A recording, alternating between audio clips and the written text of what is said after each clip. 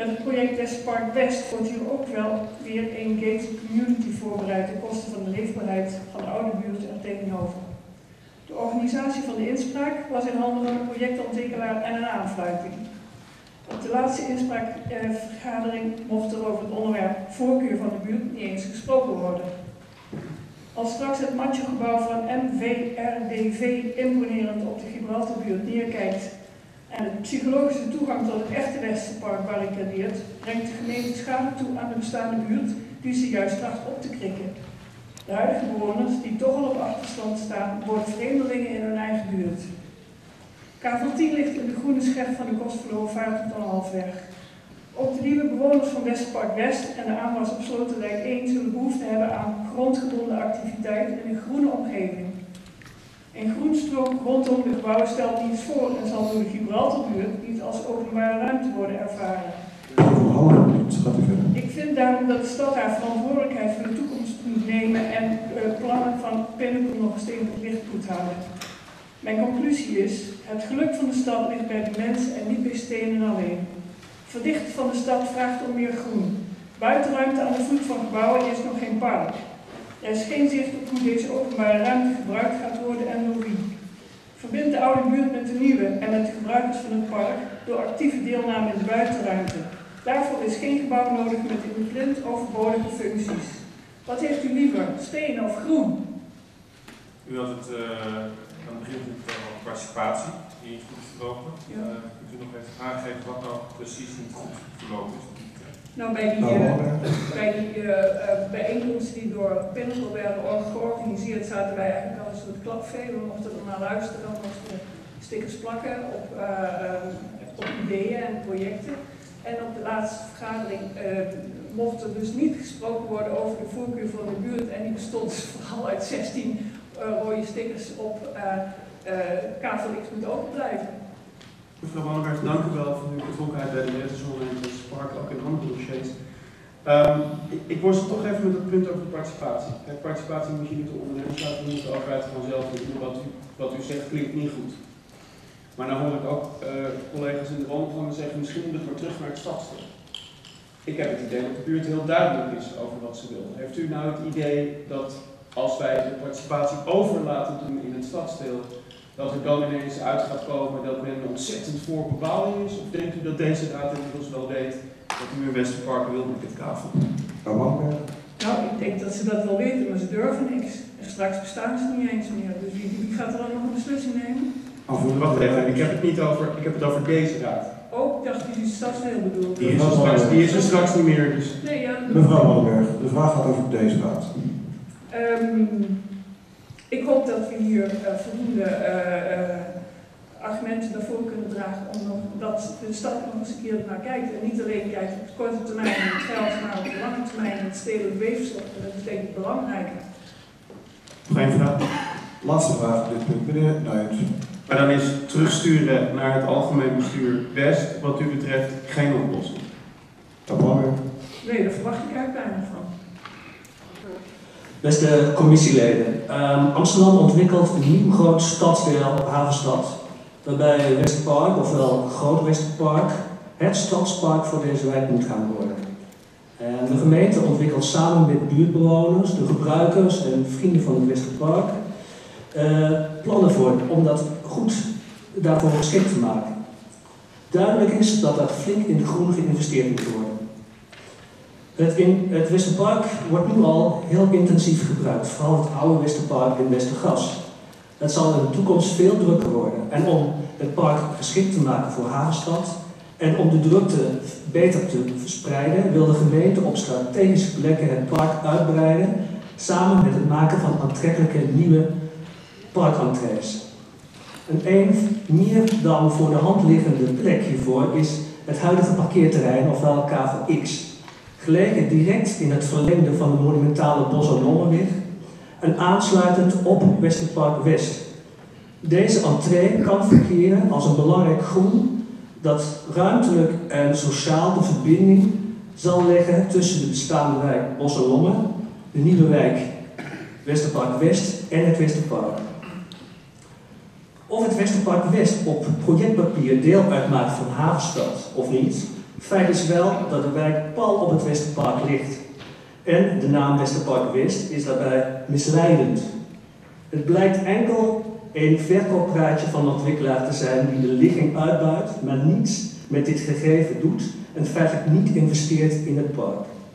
Hier liggen kansen voor de gemeente, voor de ontwikkelaar, voor de stad om de nieuwe wijk daadwerkelijk deel te laten zijn van Groot Westerpark. Met respect voor het bestaande groen, van het park, van het Brettenpad, door het maken van een autovrije wijk.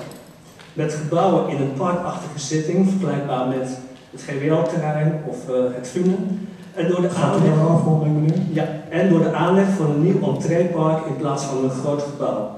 We willen dat de nieuwe wijk een verrijking en uitbreiding is van het park in plaats van een aanslag op het groen.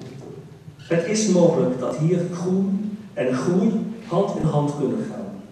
Grijp deze laatste kans, het is nu of nooit, toon ambitie. Een ambitie die verder gaat dan alleen woningaantallen in ambitie met groen. Ehm, heeft u het idee eh, dat het er beter van wordt als we dit participatieproces nog een keertje dunnetjes overlaten toen we het stadsdeel? Nee, we zijn nu al, al ruim 2,5 jaar bezig met on, al onze inspanningen. Ehm, we hebben het gevoel dat ehm, eh, het overdoen niet veel op zal leveren. Groen in de stad is de tuin van de Amsterdammer en we willen meer groen in de stad. Vanuit het centrum ben je in 10, 20 minuten in een groen gebied. En dat maakt Amsterdam tot een unieke wereldstad. Wij kiezen voor het behouden en versterken van de groene scheggen. De grenzen zijn hard en definitief om verrommeling en voortgaande aantasting van de randen tegen te gaan. We bouwen liever hoog dan in het groen. Bij bouwplannen of herinrichtingen in de stad willen we dat groen en stadsnatuur een prominente rol krijgen. Deze zinnen heb ik niet opgeschreven. D66 wel. Daarom kan D66 alleen maar tegen bebouwing van kabel X zijn. Anders wordt de groene scheg niet behouden, niet versterkt, maar afgebroken.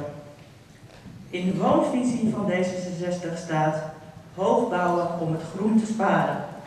Maar hier gaat het voor hoogbouw in de groene scheg. Het slechtste van twee werelden. De waan van de dag is belangrijker dan de structuurvisie en het negatieve hoogbouwadvies in de groene scheg. Als u kiest voor dit bestemmingsplan, verminkt u het Westerpark voorgoed met een betonnen blok van 44 meter hoog, 60 meter breed en 20 meter diep. Ook zonder die lelijke flat kunnen er ruim 800 woningen gerealiseerd worden. U heeft een lange termijnvisie nodig op het Westerpark, waarin alle stedelijke ontwikkelingen worden meegenomen. Meer bewoners betekent extra behoefte aan natuur. Het Westerpark is al druk en wordt met Havenstad nog veel drukker. Het park moet dus niet kleiner, maar groter worden. Een stad bouw je met meer dan een stapel stenen. Gaat u voor de stenen of kiest u voor een groen en toekomstbestendig Westerpark? Dank aan mevrouw. Zijn er nog vragen? Ik zie hier uit. Zelfde vraag aan u mevrouw. Wordt het er beter van als we de participatie overdoen in het stadsdeel? Ik heb eh, daar geen verwachtingen van dat er dan opeens eh, wel naar eh, de bewoners wordt geluisterd. Wij hebben een participatietraject gehad inderdaad met een projectontwikkelaar en een leider, althans de participatieleider die gewoon betaald werd door de projectontwikkelaar. Dus om dit weer terug te geven, nee. Het water staat ons aan de lippen, mij ook, als bewoner en ondernemer van de staatsliedenbuurt, intensief gebruiker en verzorger van een tuinpark. Letterlijk? Nee, volgens de rapporten hoef ik me geen zorgen te maken om de waterkering in Westerpark West en het krijgen van natte voeten. En toch doe ik dat wel. Wel gefietst, gewandeld, gejogd over de 1400 meter lange dijk, het erfgoed, de oude spoordijk, met een enorm lange rij bomen, laanbeplanting, die de afgelopen jaren een heel goede nieuwe betekenis voor het park en alle omliggende buurten heeft gekregen. Ga het snel doen, Want voor je het weet is het een tochtgat, fiets je in een eeuwige schaduw van de nieuwe bebouwing van het Westerpark West, zijn de bomen weggekwijnd, weg of hooguit vervangen door een paar nieuwe stekken. Jullie hebben de rapport allemaal gelezen, hoop ik. De details, technische details kunnen we allemaal nagaan. Dat wil ik hier overal laten. Toch maakt me over een aantal dingen zorgen. Er staat bijvoorbeeld in dat over de voorgestelde variant het nodig is om een aparte beheer- en onderhoudsafspraak te maken. Als het al bezwaarlijk is om dat te laten, dus de waterkering verplaatsen, omdat er geen afspraak gemaakt, wil worden, gemaakt zou moeten worden over beheer, waar gaan we naartoe? Dan moet ik me echt heel veel zorgen gaan maken om de gemeente en haar beleid, kennis en kunde, capaciteit om deze fantastisch mooie stad ook dat nog te laten zijn in de nabije toekomst. Zijn we daar niet meer toe in staat? Beheren, daarom alles maar gewoon op de schop, alles lekker nieuw? Aan de andere kant van de sloot koesteren we het groen, composteren we ons blad, ons groen voeden we de aarde. Als alles met zoveel gemak gaat als het handjeklap waarmee nu grond, vertrouwen, ruimte voor ons allemaal wordt weggegeven aan een projectontwikkelaar, waar gaan we dan naartoe? Mag alles wijken voor woningen? Er wordt dan in het rapport nog gesteld dat het slechts een kleine ingreep vereist, het verplaatsen van de waterkering. In vergelijking waarmee? Met de Noord-Zuidlijn? Waar gaan we naartoe? Woningen erbij, heel veel nieuwe bewoners. Ik deel het heel graag met al deze mensen. Ze zijn welkom in de buurt, op de tuinpark, tuinparken, waar ik me actief inzet om iedereen te laten genieten van deze waanzinnige goede combi van het leven in de stad met het groen. Om dat te behouden moeten we het groen beschermen. Dank mevrouw. Uw inspraak is helder. Zijn er nog vragen voor mevrouw? Meneer Nijens. Twee vragen. Mevrouw, kent u voorstanders in uw naaste omgeving? En zou het wat u betreft helpen als u het participatieproces nog eens over doen door het stadsdeel?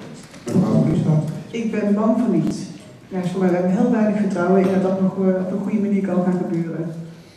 Vooral dank voor uw inspraak. Dan gaan we naar de heer Warmerdam. Is de heer Warmerdam aanwezig? Ja, daar is hij. Ook u krijgt twee minuten van mij. Het woord is aan u.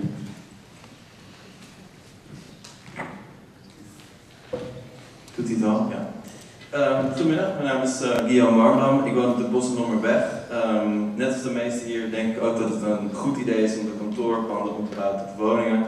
Maar er zijn een aantal punten in het plan van Pinnacle waar ik me ernstig zorgen over maak. Ten eerste de bebouwing van Kabel X. Zoals al besproken uh, ben ik bang dat er twee grote kolossen naast de, uh, de ingang gaan blokkeren. Dus de huidige ING-tol plus wat er dan nu um, in, de, in de plan staat. Uh, afgezien van de horizonsvervuiling voor de hele omgeving, de extra schaduw, wat het doet met de volkstuinen en de geplande horeca daar, die daar aan het water zal gaan komen. Daarnaast ben ik ook van mening dat het huidige plan bij autoverkeer een stuk beter kan. De Haarlemmerweg staat al elke ochtend vast en elke avond net zo.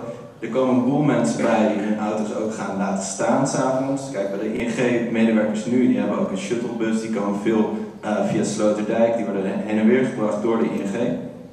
Um, in, in mijn mening is dit een uitgelezen kans om Westerpark West autovrij te maken.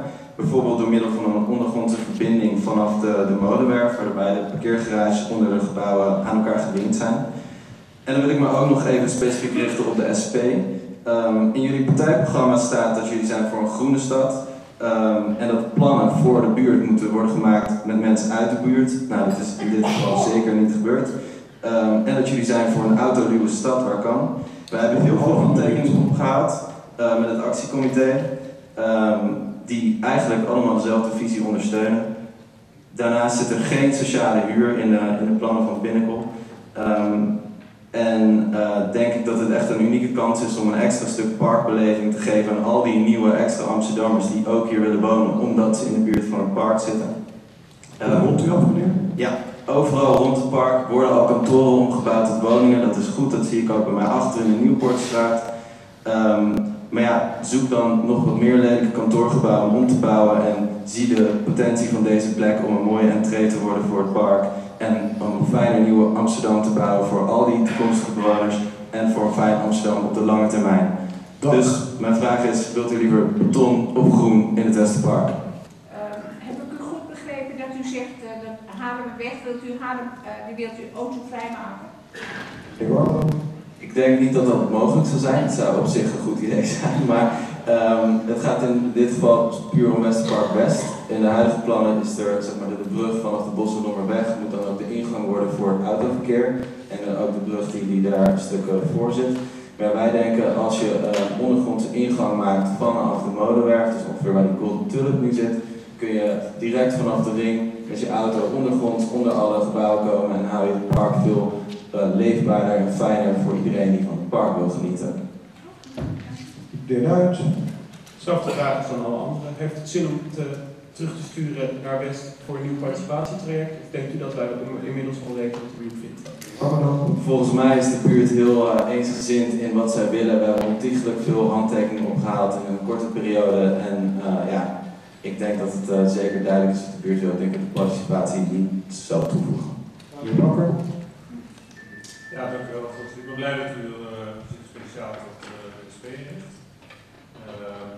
de vraag is, wat vindt u van het advies van het stadsdeel? Meneer. Volgens mij heeft het, uh, het stadsdeel niet heel erg uh, duidelijk een advies gegeven, anders dan dat ze vonden dat ze uh, geen beslissing konden nemen. Dan dank ik u voor uw inspraak en dan hebben we nog één inspreker op dit punt, dat is de heer Van der Putten. U staat al klaar, u krijgt twee minuten en het woord is u. beste commissieleden, ik ben als intensieve gebruiker en part-time bewoner van het Westerpark en deze aanspraakronde het sluitstuk van het actiecomité Stop de bouwende Westerpark Groen. Voor uw goed begrip, wij zijn geen normaal doodgewone not in my backyard groepje. Wij hebben in het hele participatieproces zeer zorgvuldige argumenten van stedenbouw, zichtlijn, groen, structuurvisie aangehouden. En onze zorgen in dat opzicht worden niet door de minste gedeelte namelijk de directeur ruimte en duurzaamheid en de directeur van monumenten.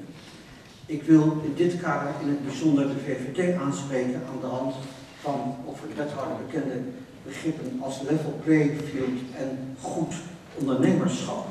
Juist op dit punt heeft de gemeente zich bij dit project van haar slechtste kanten laten zien. In het hele proces heeft de gemeente zich, zoals dat in goed Amsterdams heet, onstelselmatig ondergelegen.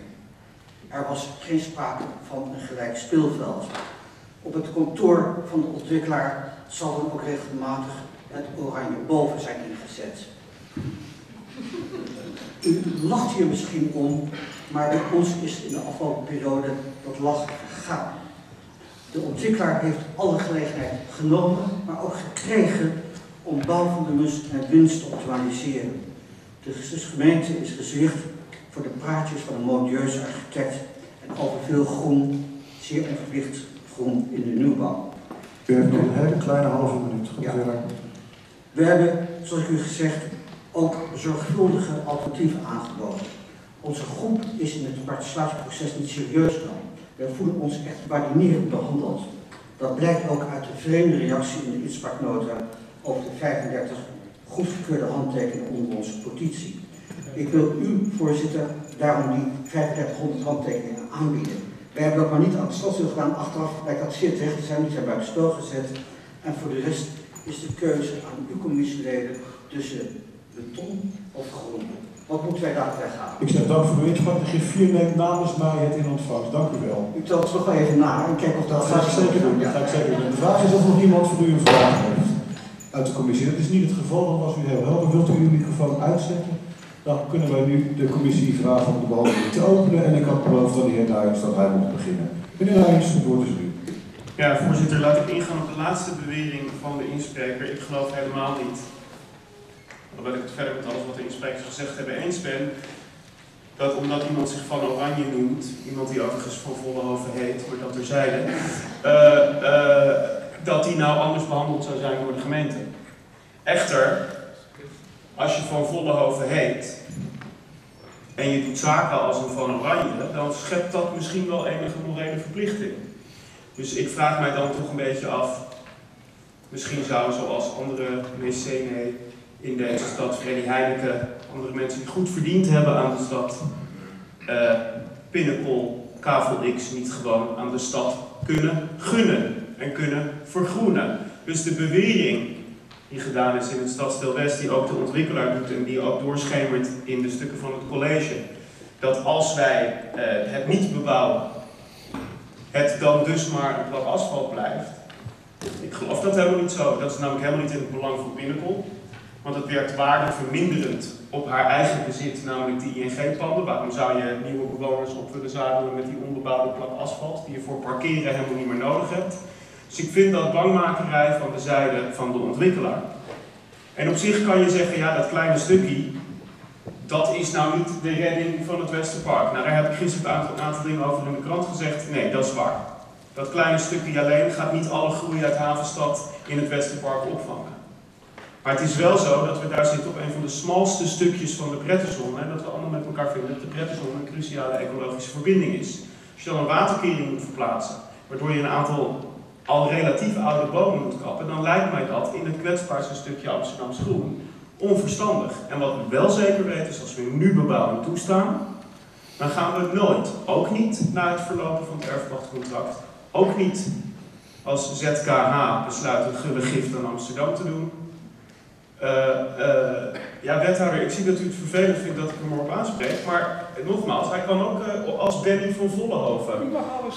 Dat weet ik, meneer de wethouder. Maar Ik, zag, ik meende aan uw gezicht iets te mogen aflezen. Als, als hij zaken deed als Benny van Vollenhoven, zou ik het een ander idee vinden. Maar ik heb hem wel eens aan de lijn gehad en hij neemt op als Bernard van Oranje. Dus dan vind ik dat ik hem hier wat mag aanspreken. Het is niet voor niks u in mag, 19 en u mag via mij praten. U heeft gelijk, voorzitter. Dan vind ik dat ik hem daarover mag aanspreken. Voorzitter. Eh, het lijkt ons dus om alle opties voor de toekomst te behouden. Om de groei van het Westerpark op te kunnen vangen. Eh, omdat het maar 128 woningen zijn. En omdat er een anterieure overeenkomst is. Waaruit blijkt dat er 128 middenhuurwoningen komen. En niet 40, 40, 20. Gewoon de woningbouwverdeling zoals we die hebben afgesproken. Ehm, zinloos om dit plan op deze manier uit te voeren. Dan nog even over het mislukte participatieproces. Ik ben daar ook niet blij mee. Had nooit aan een via een ontwikkelaar moeten lopen, al is het maar vanwege de perceptie van objectiviteit. Alleen, het is nu zo gelopen en zelfs met dat redelijk gekantelde proces, dat redelijk op hand van de ontwikkelaar was en, en gehanteerd werd door de ontwikkelaar, is er een hele duidelijke uitkomst. Want de buurt, voor zover je daarover kan spreken, wil het niet. 3500 handtekeningen die zeggen, doe dit gewoon niet. Dus volgens mij is terugsturen naar het stadsdeel en daar een, een, een nieuw objectief participatieproces laten voeren, helemaal niet iets wat de uitkomst laat veranderen. Volgens mij ligt de beslissing gewoon hier en moeten we het gewoon niet doen. Andere voorbij, de heer Van Manderen. Ja, voorzitter. Ehm, de zoveelste keer dat er eh, heel veel insprekers zijn die zich eh, tegen het volbouwen van de stad eh, keren. En terecht. En dit college en ook het college daarvoor heeft gewoon, eh, is van plan een stad als Maastricht bij te bouwen in de komende 25 jaar. De ruimte wordt te krap.